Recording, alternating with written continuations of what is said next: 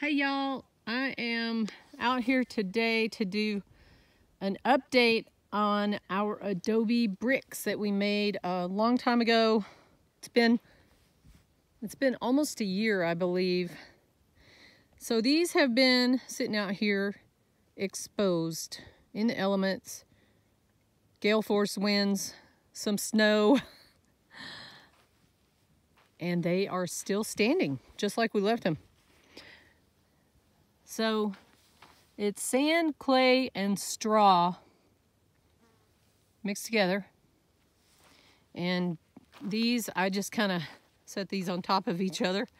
So these have been totally exposed and they're still standing. So that just goes to show you how, how strong they are. And that's about it. Not much more to say. It's strong we're going to have these. So part uh, of our straw bale house will have this on the inside for for walls. We will be using that also for plastering. So that's about it. Thanks for watching.